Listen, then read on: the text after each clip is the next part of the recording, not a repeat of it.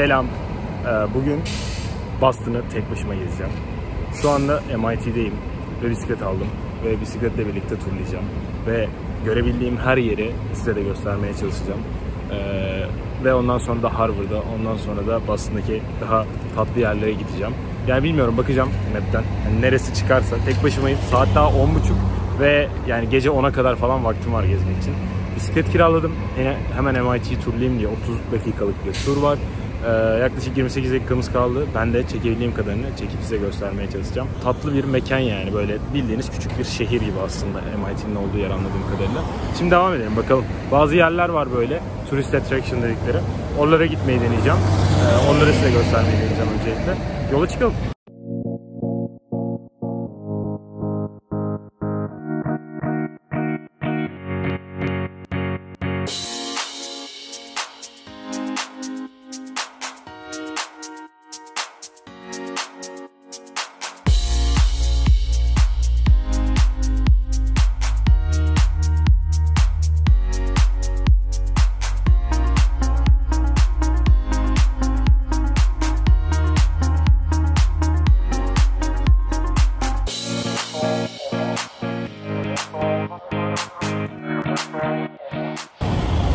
Önümüzde MIT şapeli varmış. Dedim ki oraya gideyim yani. Burada turist attraction olarak önce orayı gösteriyordu.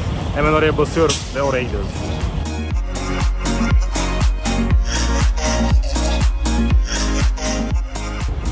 Evet, burası MIT'nin şapeli. Yani en önemli yerlerinden biri. Böyle hani MIT deyince insanların aklına burası geliyor. Çünkü yani gördüğünüz gibi bayağı görkemli ve tarihi bir yer zaten. Şöyle göstereyim. Bayağı güzel bir mekan. Bayağı güzel bir mekan. İçerisine gireyim mi bilemedim. Şimdi bisikletim olduğu için ve yarım saat süresi olduğu için girmeyeceğim büyük ihtimalle. Ama burayı size göstermek istedim. Çok iyi çünkü ben çok beğendim. Evet devam edelim. Gidiyoruz. Şimdi sizi denize çıkarmaya çalışacağım. Daha doğrusu deniz değil ama burada Haliç gibi bir mekan var yani. Onun adını bilmediğim için şu anda söyleyemiyorum.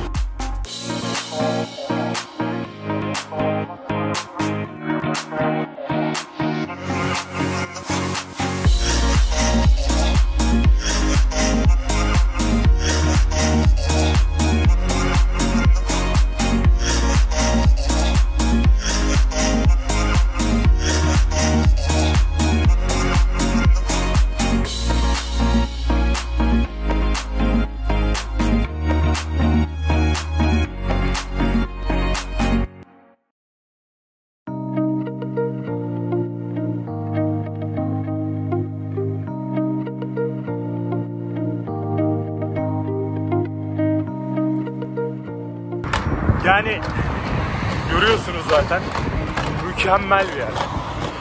Mükemmel bir yer. Yani köprünün üzerinden bisikletle geçiyorum ve o kadar güzel ki şu manzara falan yani şöyle göstereceğim.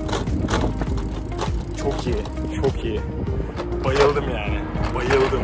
Şimdi gideceğim ve ondan sonra sahil kenarında birazcık daha bisiklet süreceğim. Çünkü yani bisiklete 100 dolar falan verebilirim burada. Mükemmel bir alet. Yani daha iyi bir 3 dolar harcayamazdım öyle söyleyeyim. Gerçekten öyle. Saçlarım çok kötü ama umurumda değil çünkü mekan aşırı iyi.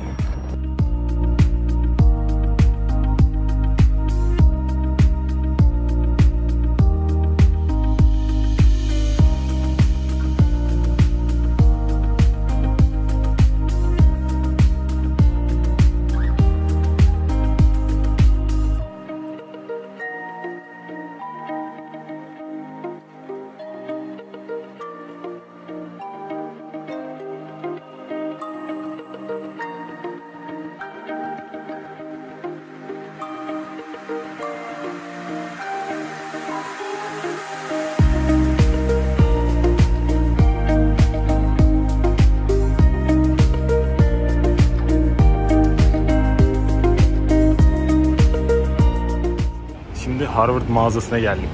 İçeri gireceğim. Bakalım. Wow. Bayağı iyi. Evet abi.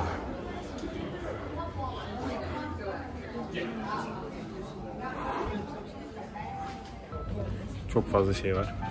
Gerçekten çok fazla şey var. Ben de dedim ki kendime tişört alacağım. Belki şunu alırım. Belki başka bir şeyler alırım. Bakıyorum. Size de göstereceğim güzellerini. Evet abi. Yani bilemedim. 40 dolarmış yani bir tişörte 40 dolar vermek istemiyorum. O yüzden mesela az önce o Champion'larınki 20 dolardı falan. Yani bakalım. Şunlar var. Mesela bunlar Champion aynen. Bakalım ne kadarmış. 30 dolar bunlardan. Şöyle. Ya alabilirim bunlardan bir tanesini alırım. Ya bunlar uzun kolluymuş. Bunları almam o yüzden. Tişört bakacağım. Ha şunlara bakalım. Bakın mesela. Çok düz biliyorum ama güzel yani. 20 dolar. Evet bunu böyle bir şey alacağım ya. Bir tane alırım. Böyle tişörtler var. Bakalım ne kadarmış. Ha, aynı. Baksanıza bence çok güzel ya. Yani buraya kadar gelmişken almamak bence tamamen aptallık olur. En azından bir tane tişört alayım. Yani. Şuraya bakalım. Burada hediyelik eşyalar var. Bakalım neler varmış. Çikolata var abi şaka mı? Evet çikolata var. ee, aa termoslara bak yani. Çok iyi, çok iyi. Bunlardan bir tane alabilirim belki. Ama MIT'li de alsam daha güzel olabilir diye düşünüyorum ama Harvard'lar da çok güzelmiş. İşte bakalım mesela şunun fiyatına bakalım. Bu çok güzel değil ama 40 dolar. Yani. Sonra şuna bakalım mesela ben şunu beğendim. Aynen bakalım. Şöyle bir şey. 25 dolar. Aslında bu alınabilir ya. Yani bilmiyorum böyle diye diye bütün paramı burada harcayacağım gibi geliyor şu anda ama. Bir de onlar metal yani. yani hiçbir şey olmaz. Mesela şu plastiklere bakalım. Şöyle ya da bu kötüymüş. Şuna bakalım mesela bu güzelmiş. Aynen. 18 dolar. Yani buna 18 dolar vermem bu arada. Yani. Um, telefon kılıfları vesaire klasik şeyler. Flash diskler falan. Hikaye, hikaye, hikaye. Aynen. Ha, şurada kupalar var. Kupalara bakayım bakın. Bunlar mesela bayağı güzel gözüküyor bence. Harvard Business School ya mesela. 17. Business School'la alakam olmadığı için almayacağım. Evet. Mesela bu da Harvard Medical School. Bunu da almayacağım o yüzden. Harvard'ın mühendisliği çok iyi değil. Bu 10 dolarmış mesela. Tatlı yani. Aynen. Az önce bir tane daha görmüştüm. O daha güzeldi. O yüzden aa bakın bu da güzel. Oo. Bu nasıl? Bence iyi. Bence iyi. 10 dolar. Alınabilir. Alınabilir. Bu nasıl? Bu daha iyi. Şimdi kahvemi aldım. Ve Harvard'ın ve MIT'nin olduğu sokaklarda, gerçi burası Harvard yani. Ee, yürüyorum. Ee, Harvard'ın kendisine gidiyorum. İşte o mağazayı falan gezdik. Orası bir tık farklı bir yerde şeyden anladığım kadarıyla. Yani burası tam bir mahalle bu arada yani. Bildiğiniz mahalleye daha doğrusu e, üniversite kurmuşlar. Sonra demişler ki burası mahalle olsun yani. Ve hani öyle olmuş. Etrafında yani böyle geziyorsunuz geziyorsunuz. Sağ tarafta Harvard'ın bilmem nesi. Sol tarafta Harvard'ın şusu. İşte orada e, MIT'nin şu binası bilmem ne bilmem ne. Hani bildiğiniz herkese açık yani sokak ama sağı solu üniversite binası yani. Öyle bir muhabbet. Ve çok tatlı yani. insanlar falan da böyle yani e, nasıl desem her yerden her yerden insan var. Ve aşırı derecede e, kozmopolit bir yer yani. Ve çok güzel yani bence böyle olması. İşte e, şu anda da Harvard'ın o e, yani kendi okullarının bayağı işte dersliklerinin olduğu yere falan gitmeye çalışacağım bakalım. Haritadan baka baka umarım bulabilirim de size de gösterebilirim. Böyle arkayı netliyor mu bu?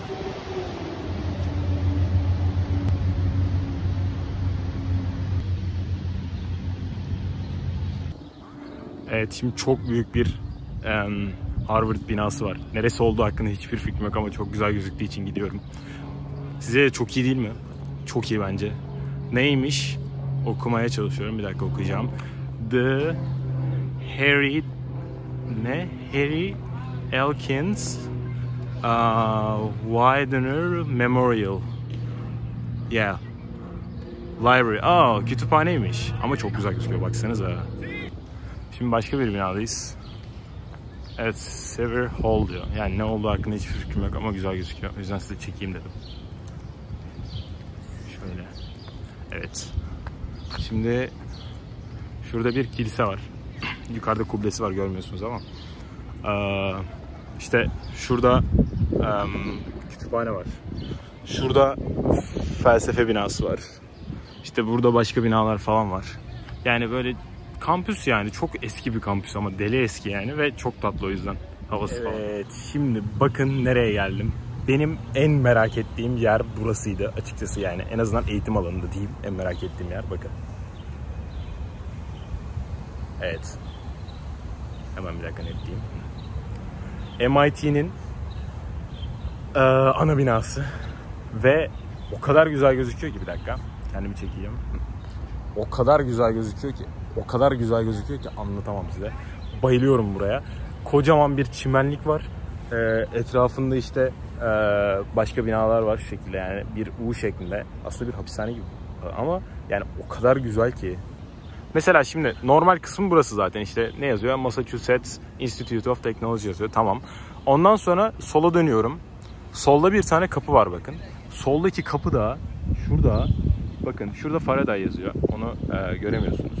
Ama yukarıda işte Coulomb, Volta, Ørsted, Maxwell e, ve diğer işte elektrik adına uğraşan insanlar var. E, çok önemli bilim adamlarının isimleri yazıyor.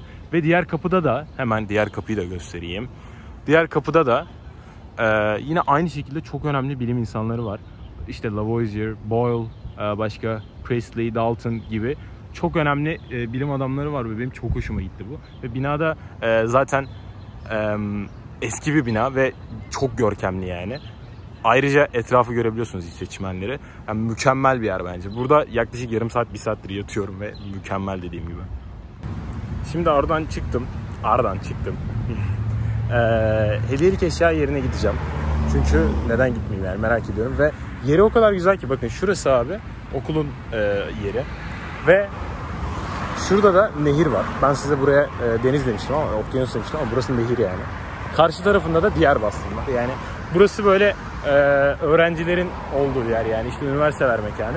Diğer tarafta da daha her şey var. İşte e, daha normal bir şehir gibi yani öyle düşünün. Ben önce bu tarafı gezeyim dedim. Sonra diğer tarafa geçeyim dedim. Çünkü burayı gerçekten merak ediyorum. Çünkü dünyanın bence en iyi iki üniversitesi burada yani öyle düşünün. Ve yan yanalar. Burayı gezmek ne yapacağım? E, bu şehre gelmişim o kadar. E, şimdi de işte MIT'nin o e, souvenir shop'una gidip yani MIT'nin ne neydi? Ha hediyelik eşya dükkanına gidip şimdi işte MIT'nin hediyelik eşya dükkanına gidip ondan sonra karşıya geçmeyi düşünüyorum.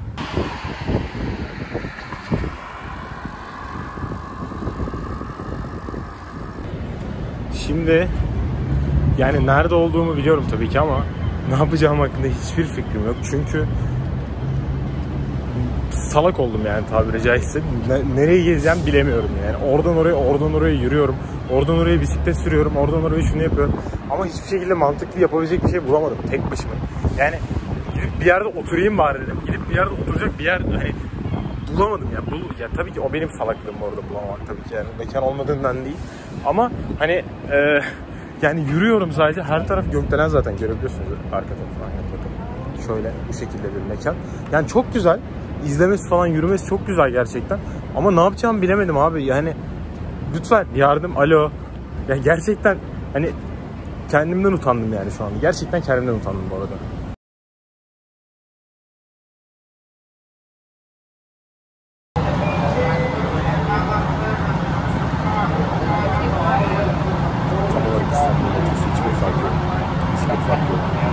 Geri dönüyorum çünkü yağmur başlamıştı.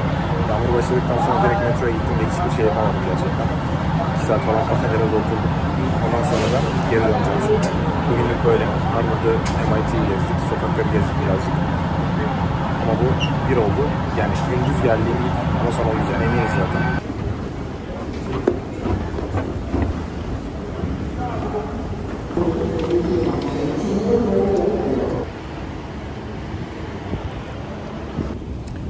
Evet geldim. Burada deli yağmur yağıyor. Yani bu kadar olabilir.